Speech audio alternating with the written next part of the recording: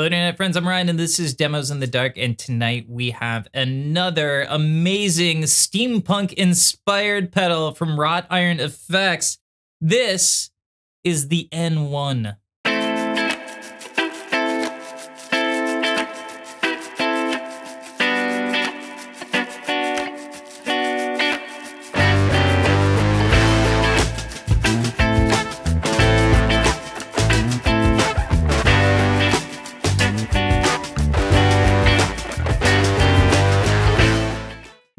N1 germanium carrier rocket. And I know that this is an H, but that is a Cyrillic H, which is an N. So I'm not crazy, at least not about this. Other stuff, Jerry's still out. The N1 is a punishing germanium fuzz. There is not a ton of subtlety in this pedal. It is in your face all the way, and uh, that is what makes it super, super fun to play.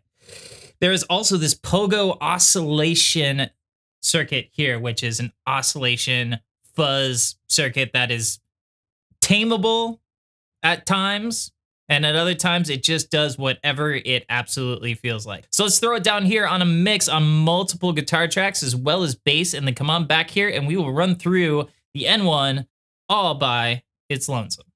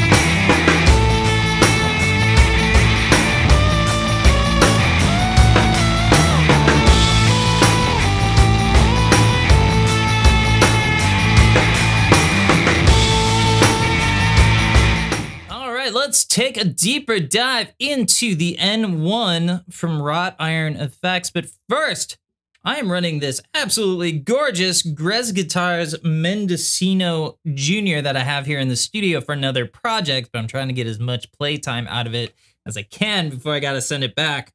Super, super cool junior style guitar that sounds absolutely fantastic and plays like a dream.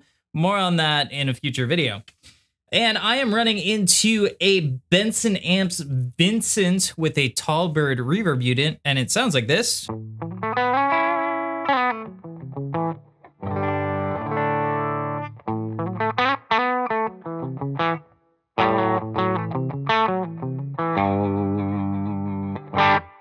right, so we have a couple of different controls on here.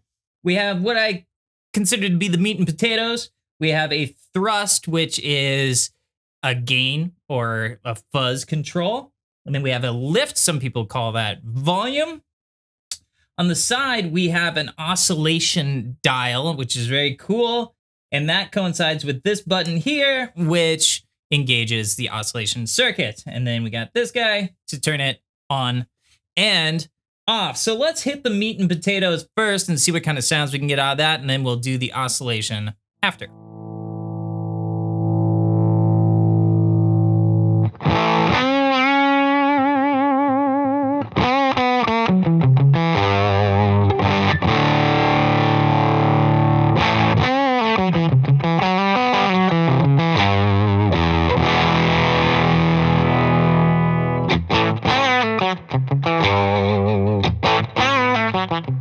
So you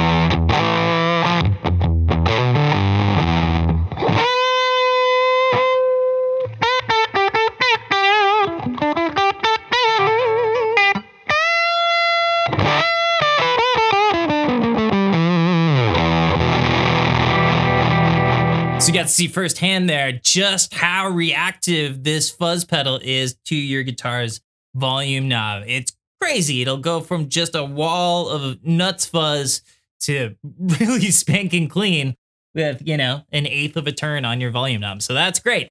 That is not the only thing that reacts to your volume knob, but the oscillation circuit will also change with the volume and tone knobs on your guitar. So got the knob here. I'm setting it on full and I'm to show you just kind of what this thing does. It's crazy.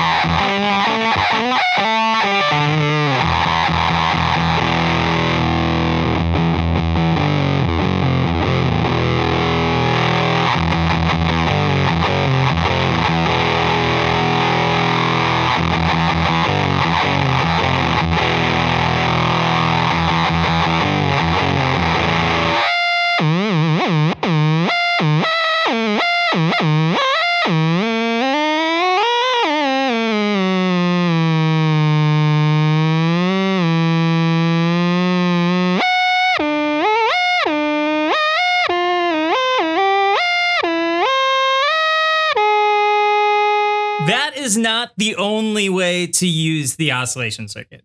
It is the funnest way to use the oscillation circuit, but it is not the only way. And I have found some really great sounds by dialing that control back quite a bit and then pulling back the thrust or the gain. And you're able to get some really, really cool sounds.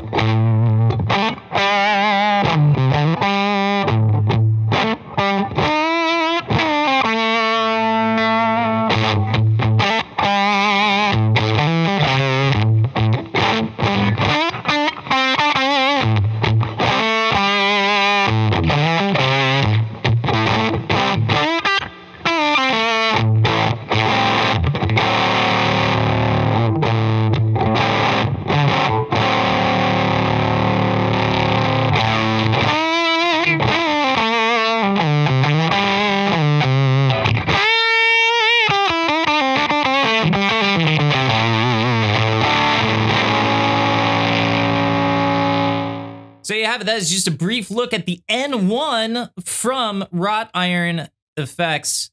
I always love getting their stuff in because it always just looks so dang cool. And it, they always sound dang cool too. So it's it's great. It's a great he's a great builder. He makes cool stuff. So thank you to Wrought Iron for sending that over. Thank you to Grez for letting me continue to use this guitar for a little while. And thank you to you your time.